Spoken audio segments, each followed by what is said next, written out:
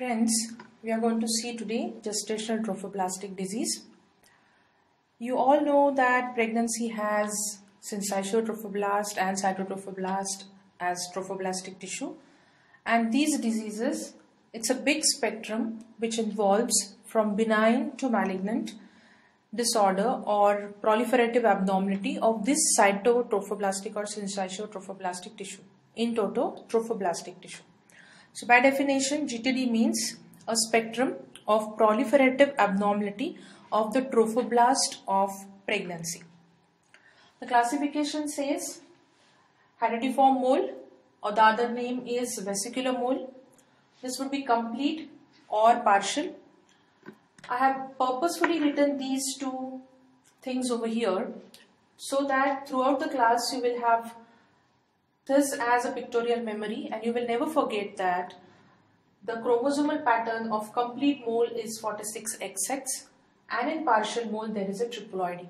That three groups are present. MCQ point of view this is very important so please don't forget these two things. You cannot really afford to forget this. Then there is invasive mole. Then there is placental site trophoblastic tumor and then last variety which is the most malignant cancer that is choriocarcinoma. So let's see one by one.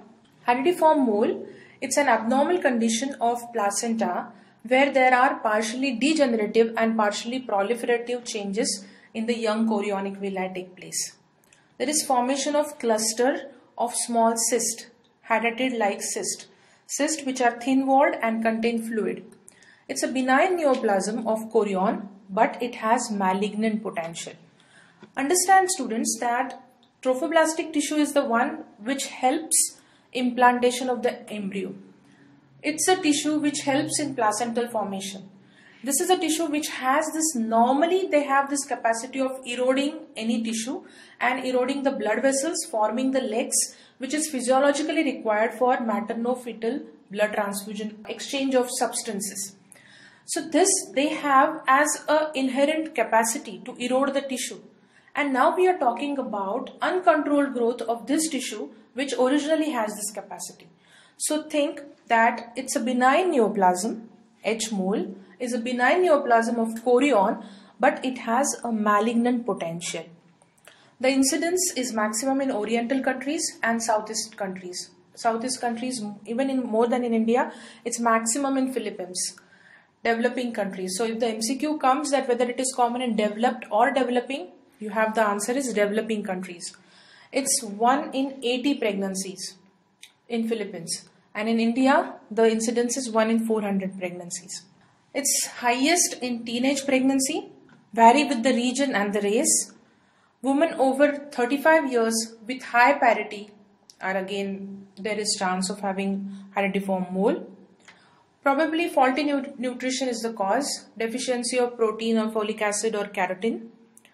Disturbed maternal immune system is there, there is raised gamma globulin or it is they are seen in specific blood groups maybe when there are no ABO antibodies. Cytogenetic abnormalities, in complete mole, higher the ratio, greater the molar change. So in complete mole, it is 2 as to 0, paternal chromosomes in pair 2 and maternal absent. This tells you importance of having a mother. If mother and maternal chromosomes are absent, no baby can be formed, only a mole can be formed. So this is how you can remember if maternal chromosomes are absent, a baby cannot form. Even though father tries to duplicate its own chromosomes, there can be 46XX, but they are of no use. There will be no baby, only cysts would be formed. So again, to remember, mother is very important to have a baby. Partial mole, the ratio is 2 as to 1. 2 paternal, 1 maternal. So excessive father is also not done. There has to be one maternal pair and one paternal. If paternal is available in 2, that causes triploidy and that leads to partial mole. There would be baby but there would be presence of molar tissue along with it. Cytogenetic abnormality, again to stress the same point. In complete mole, there is androgenesis. What is androgenesis? When the fusion takes place, complete set, one from mother, one from father, they come together and form either 46XX or 46XY. But if maternal chromosome, they vanish and haploid sperm duplicates its own chromosomes after meiosis, it forms mole. Commonly, it is 46XX, almost in 85%, but it can be 46XY or 45X. In partial mole, there is one set from mother and two paternal haploid chromosomes, they unite and thus there is triploidy. So please focus on these important things. Then what happens? What, what exactly is the pathology? It's a disease of chorion. There is death of the ovum and embryo fails to grow. The secretions from this hyperplastic cells and transfer substances from the maternal blood, they just accumulate in stroma of the villi which are devoid of blood vessels results in distension of the villi to form small vesicles. This vesicular fluid is interstitial fluid and is almost similar to ascitic or edema fluid but it is rich in HCG, human chorionic gonadotrophin hormone. Mass filling the uterus is made up of chains or clusters of these small vesicles and that is why it is called as vesicular mole or they look like hydatid cyst. They are, that's why they are called as hydatidiform mole. In complete mole, there is no trace of embryo or amniotic sac. The full of the uterus would be just filled with these small, small vesicles and there would be blood clots because of disruption of vesicles. Now coming to a very important point, what are the pathological changes found when we do a histopathological examination of these vesicles? In complete mole, there would be diffuse. Please don't forget this word. Whenever I say complete, has to be diffuse. Diffuse hydropic degeneration of all the villi. There is diffuse trophoblastic hyperplasia or proliferation. There would be marked thinning of the stromal tissue and absence of blood vessels of villi, but still the villus pattern is maintained. Why I am telling this is important because you will have MCQ saying what are the changes which takes place in H mole and then you have to select the right option which is not there. So diffuse complete mole, focal partial mole, villi pattern maintained we are talking about molar pregnancy. Villus pattern absent suggests choriocarcinoma. So remember this point. Then there would be presence of bilateral ovarian cyst in 50% of the patients. Now why the cysts are there? As we all know trophoblast, they are the source of secretion of beta HCG, HCG. Has alpha unit, beta unit, beta is specific, alpha acts as LH, acts as TSH. So because of that, because of these high titers of HCG, there is stimulation of ovaries that leads to bilateral cyst formation, big big ovaries with multicystic cysts these are called as theca lutein cyst. They contain fluid which is again rich in HCG. They also contain estrogen and progesterone. And as we evacuate the vesicular mole, gradually as the hormonal level goes down, LH levels goes down and then there would be regression of these cysts but over a period of 1 to 2 months. How does this mole present? The presentation is usually the lady comes with amenorrhea but along with amenorrhea, there would be either bleeding, abnormal vaginal bleeding, there can be lower abdominal pain, all symptoms of pregnancy which are normally there you know in early gestation because this we are talking about second trimester or maybe late first trimester. That's the duration when the patients usually present. So at that time we have uh, emesis gravidarum we have hyperemesis gravidarum. In second trimester late second trimester maybe pi starts. But in vesicular mole, all these pregnancy symptoms will be exaggerated. I am talking about complete mole. In complete mole, all the early pregnancy symptoms are exaggerated. There would be hyperemesis gravidarum because of increased HCG. There would be features of early onset preeclampsia. Preeclampsia, that is PIH, usually after 24 weeks.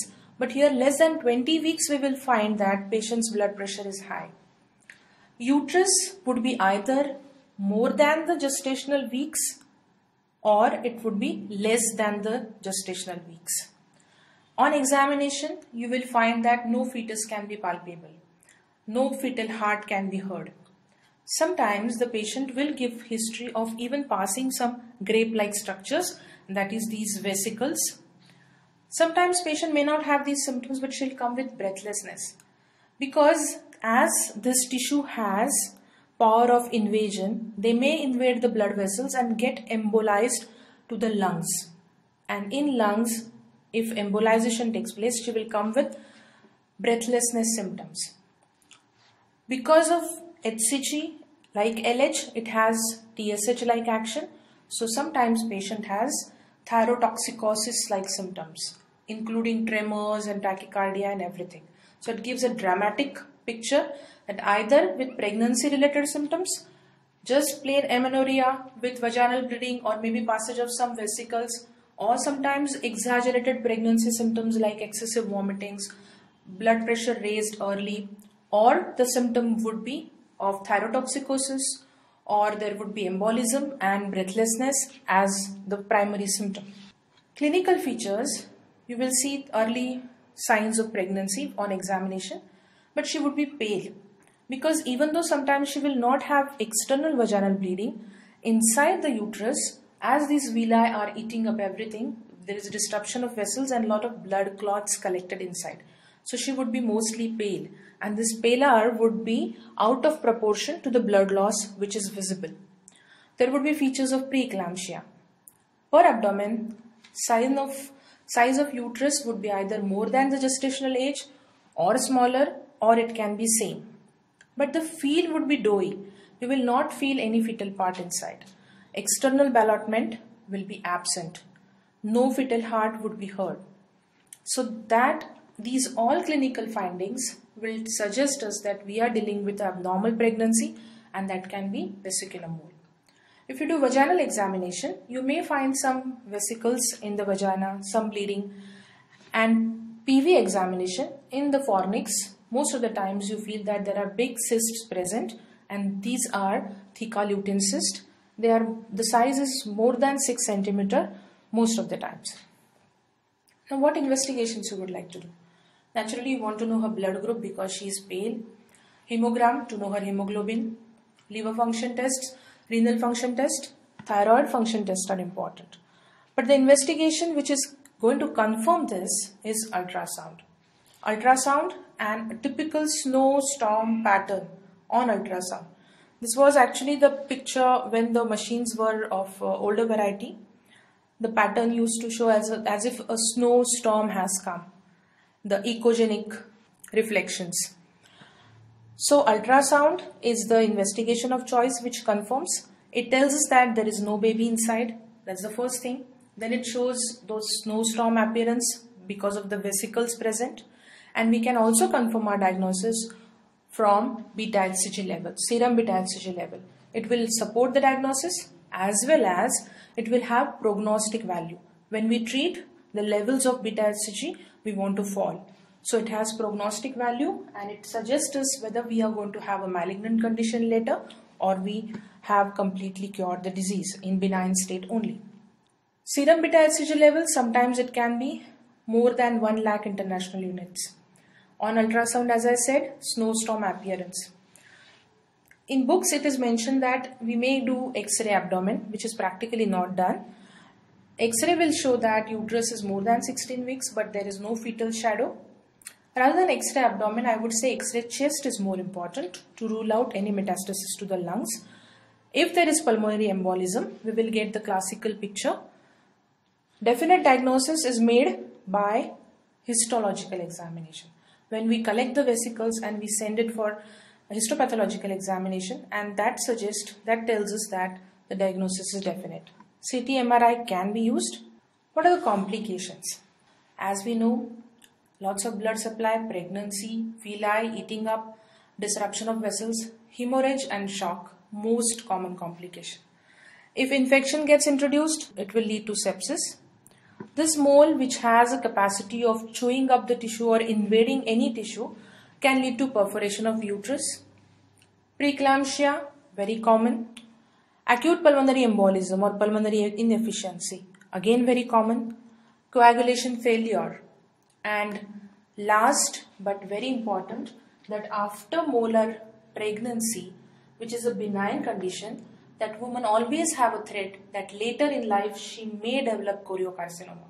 So it can be a late complication of H. mole. Risk factors for malignancy means how can we say that which woman is likely to develop choriocarcinoma and which woman is less likely to develop choriocarcinoma later. So the risk factors are if age of the woman is more than 40 years, if her parity is more, she has more than 3 children and now vesicular pregnancy, if her initial serum beta HCG levels are more than 1 lakh milli international units per ml, the uterus is 20 weeks and more in size, if she has prior history of molar pregnancy and this is recurrence, and if she has bilateral theca lutein cysts which are more than 6 centimeter in size, all these factors tell us that she has a great risk of having choriocarcinoma later. That's why we have to manage this pregnancy right now, but always keep in mind that we have to keep a watch whether uh, she will develop choriocarcinoma later. Now, how are we going to manage this vesicular mole? The treatment is under anesthesia, suction evacuation or dilatation and evacuation. We have to evacuate the uterine cavity and take out these vesicles either by suction or dilatation. Uterus is big in size, lots of HCG, very soft. We need big cannula. So sometimes we have to prior dilate the cervix or most of the times now we dilate the cervix and suction at the same setting. But it is always better to start a oxytocin drip before we start with suction evacuation. Because if uterus does, because with suction, this vesicles are going, going to get sucked out very quickly and the uterine cavity will get empty. But if it doesn't retract as per the requirement, there would be uh, lots of blood loss. So we want the uterus to have that contractility when we are going to go ahead with suction and evacuation. So always we give IV fluids, we arrange for blood, if necessary give blood before if she's too anemic. Then start the oxytocin drip and then go ahead with suction evacuation. It is done usually, it's all the time it is done under general anesthesia. While giving anesthesia, we have to remember this patient has thyrotoxicosis like features. Because of increased HCG, she has increased TSH. So it is a it, she may land up in thyroid crisis during anesthesia. So it's a very important point to remember thyroid storm. Once we dilate the cervix, put a suction cannula inside, on the switch on the uh, vacuum machine and suck out the products. That means the vesicles in that. Because of oxytocin drip in heavy concentration, the uterus retracts very fast and gradually we take out we can even keep our hand on the abdominal cavity and feel the uterus decreasing, shrinking in size. Once we get the feel that the uterus is almost empty, we can take out the suction cannula after switching off the machine once the product stop coming and then there is a role of curettage to confirm that the cavity is totally empty. It's little debatable issue whether the curettage is to be performed immediately after suction or it is to be performed after 7 days. Some people say it is better to do right now at the same stage when suction is done so that we can confirm the cavity is completely empty and whatever tissue we get we can send it for histopathological examination to confirm whether it has invaded the myometrium, whether it is invasive mole or any, any avascular pattern it has. Some are of the opinion that because of lots of HCG, the uterus is so very soft that if we do curettage at that particular moment, there is very high risk of perforating the uterus.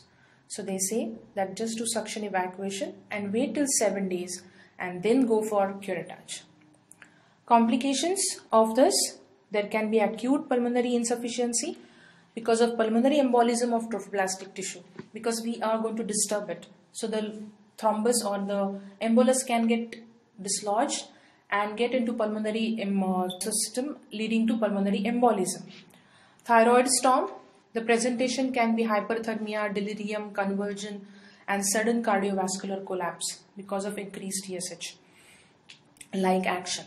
So when we are doing evacuation, we have to keep blood ready, give beta blockers, be prepared for embolism or thyroid storm and evacuate the cavity gently with lots of care because she has increased risk of perforation. The other treatment mode can be hysterotomy in which we open the uterus with an incision and evacuate the uterine cavity but this is very rarely done. Only indications are if the patient has profuse uncontrolled bleeding where we have no time.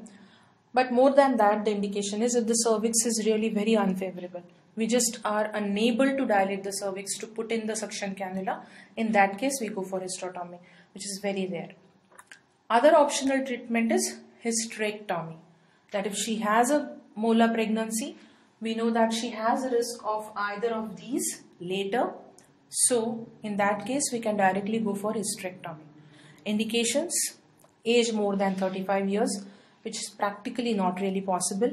Every woman after 35 years really doesn't want to sacrifice her uterus. Completed family, no. But high risk for malignancy. In that case, if she, her score is she's very high risk for having malignancy, then we can always put forth this option as a treatment. Discuss, counsel the patient, tell the advantages and disadvantages, and let them choose. Ovaries are to be conserved whenever you are doing hysterectomy. Uterus has to be sent for histopathological diagnosis to confirm that it is only mole and nothing else. And we need to follow up with serum beta hCG levels. The levels have to fall gradually so that we know we have treated it completely. Prophylactic chemotherapy with methotrexate. Once we say GTD is equal to methotrexate. This is a very chemosensitive tumor. Complete cure is possible and methotrexate is the drug of choice. So in case if our patient we have evacuated but she falls in high risk group for developing malignancy, we should always consider prophylactic chemotherapy. The indications, high risk patient, other indications that we are monitoring her beta level after evacuation. They are either plateauing means the fall is not as per the expected fall or the levels suddenly start rising. In that case also we should give prophylactic chemotherapy. If there is any evidence of metastasis like in the lungs, if we find that the metastasis has taken place, it's better to give chemotherapy. And in case if patient is not going to follow with you, she is a patient from some remote place, you are not sure whether she'll come for follow-up again. So in that case, it's better to give prophylactic chemotherapy. The follow-up of molar patient is to be done clinical examination, the uterine size. Every time she comes, we should see that the uterus is regressing in size. Ovarian cyst, they should also regress. We should do ultrasound and chest x-ray on follow-up to see what is the regression of uterus and cysts. Chest x-ray for any metastasis. Serum beta levels every weekly initially. Till for 3 weeks, the levels are normal. So first, once the molar evacuation is done, we'll be doing beta weekly. They will gradually slow down. Then the levels will be normal. Then still repeat the level weekly till three levels come normal. Then monthly.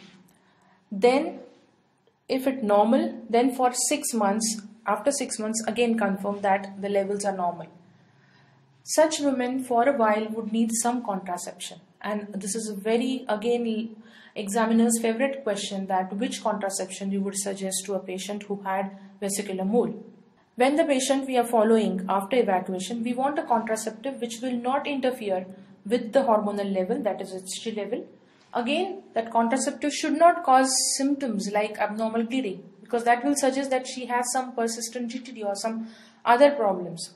So the contraception of choice is barrier. Previously people were little apprehensive about combined OC pills but now they are recommending combined OC pills they don't really interfere with the hormonal decrease. IUCD is contraindicated. Progesterone only pills are contraindicated because they may cause abnormal or irregular bleeding. And they that may make us think that are we dealing with any malignancy now coming to partial mole. In partial mole there is triploidy. We have made this clear. There is one set of maternal and two paternal haploid chromosomes. The difference is in partial mole there would be presence of some fetal tissue. In complete mole, absolutely no. On pathology, there would be focal hydropic degeneration of villi. In complete, I told you there would be diffuse. In partial, focal. Focal trophoblastic hyperplasia and proliferation would be seen. There would be marked villus scalloping and stromal trophoblastic inclusions would be present. If the fetus is present in case of partial mole, usually the growth is never normal. Either it has severe IUGR or it has multiple anomalies.